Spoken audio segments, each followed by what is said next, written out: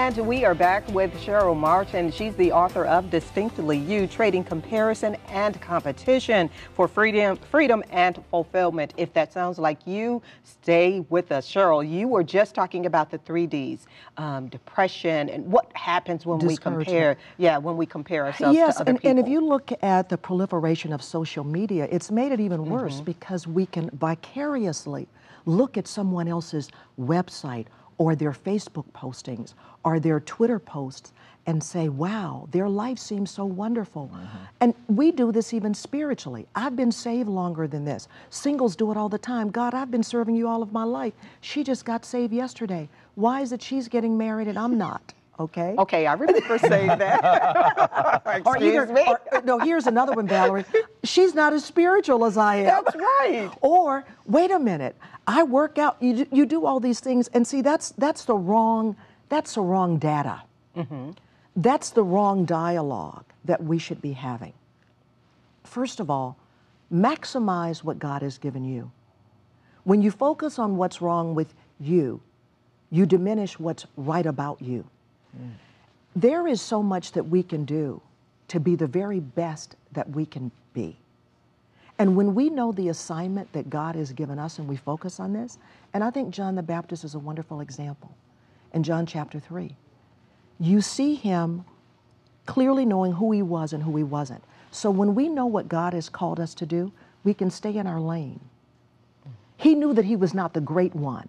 He was never in competition with Jesus, but yet he had a specific calling, just like the Son of God. So when his disciples said, Everybody's leaving you and going to Jesus, you know what he said? That's how it should be.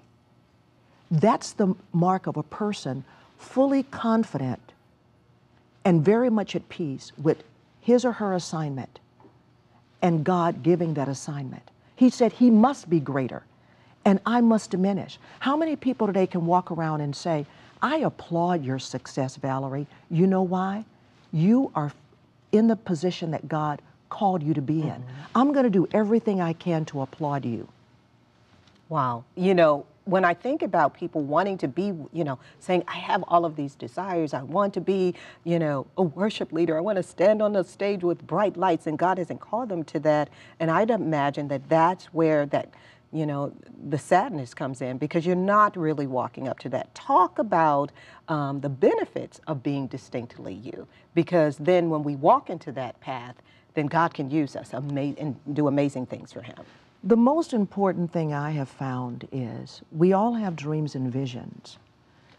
It's not me praying and saying, Lord, this is what I want. Okay. Everything has to run through the filter of, Lord, is this your will? Jesus Christ is our best example. Even Jesus said, I only do what my Father tells me to do. I only say what my Father. He was so concerned about being distinctly on the path that God Himself ordained. I have found that when I'm consumed with my desires, those desires can actually derail me. Mm-hmm. But when I am consumed every day with being in the will of God, when I had my career in broadcasting one time, I felt like, you know what, God, I'm not getting the opportunities that others get, and I believe I'm just as good as the next person. And you know what God said to me one day after I finished venting? he said, Are you through? Because I have something I want to say to you. Okay. And this is what he said. He said, and he gave me a sports analogy. He said, You know how there, there are players on the team and they wear the jersey, but they never get to play? He said, If that was my will for you before the foundation of the world, that you get to wear the jersey, but you never play, I want you to have a smile on your face and I want you to be happy. And if I decide there's anything else I want you to do, Wow. I'll have you do it. Mm-hmm. One of the blockers is having a big view of ourselves called pride. Mm-hmm. I is in the middle, this whole sense of entitlement. The Lord made me realize I had to humble myself, but He also said, I want you to go to work and do everything in your power to make your coworker look good. And don't worry about your career. Humble yourself. Mm-hmm. Do your work as unto me. And you know what, Valerie? When I least expected, when I wasn't aiming or jockeying for a position, God opened incredible doors. You know why? It was no longer about me. We live in a society, it's all about us. Everybody's trying to increase their profile. That is not the way to distinction God's way. The distinction should be I'm here to glorify God. Why? Because when we stand before God, it will be did you accomplish what I created you for? And people shouldn't be discouraged if they can't just snap their fingers and make this happen. This is a process, isn't it? It's, a, journey. process. It took me a long time. I put everything in this book that God has taught me. It has been a process. I've been very transparent about triumphs as well as tragedies. Mm-hmm. But when we are committed to loving God and saying, God, change me more than anything else, I want to be the person that you created me to be, that is freedom.